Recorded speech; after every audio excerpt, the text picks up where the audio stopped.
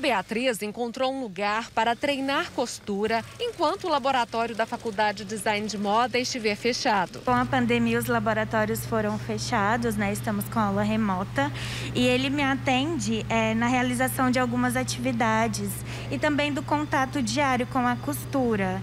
Dificilmente um aluno de design de moda, de corte e costura, tem muito contato com máquinas profissionais como a das confecções. Nesta aqui, por exemplo, elas podem chegar a custar até 30 mil reais. Por isso, quem está começando agora e precisa adquirir prática, pode locar espaços por hora para poder costurar.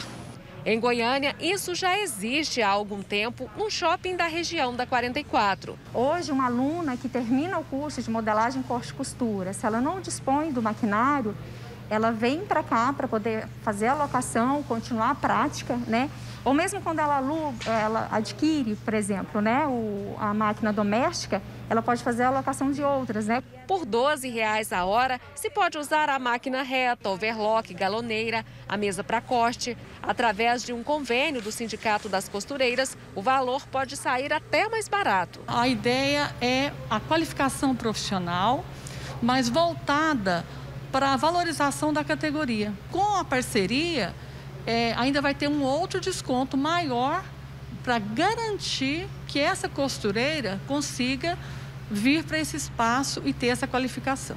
Os espaços de coworking para costura podem ser uma boa alternativa para quem trabalha com facção. Esses serviços saem bem mais baratos do que uma pessoa abrir uma loja física ou um escritório físico, né, fazer uma locação de um espaço.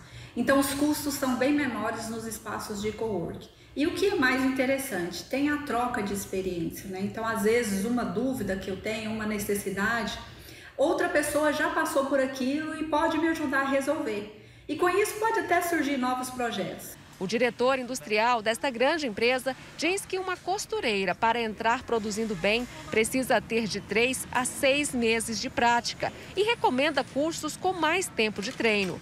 O mercado para aquelas chamadas de mão cheia está em alta tanto que o Cláudio já precisou buscar mão de obra até fora do estado. Hoje, inclusive, a gente está até costurando em Santa Catarina, certo? Por falta da costureira. Inclusive, nós temos hoje aqui uh, vagas abertas, né, de em torno de 30 costureiras, para completar o nosso quadro. Mas precisa ter experiência. Sem dúvida, precisa ter experiência para já entrar produzindo.